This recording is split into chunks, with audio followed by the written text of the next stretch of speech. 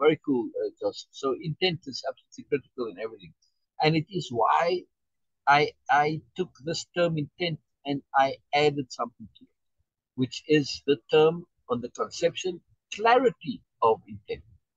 It's one thing to have intent.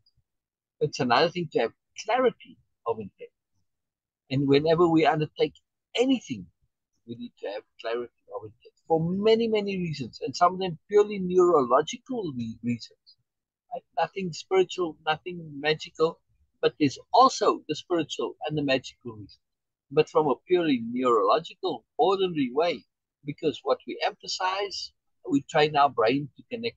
And when you have a very, very clear intent, of course, your brain is now wired to be connected to that intent, to see what is related to that intent, to see what is connected to that intent, to see what supports that intent, to see what furthers that intent.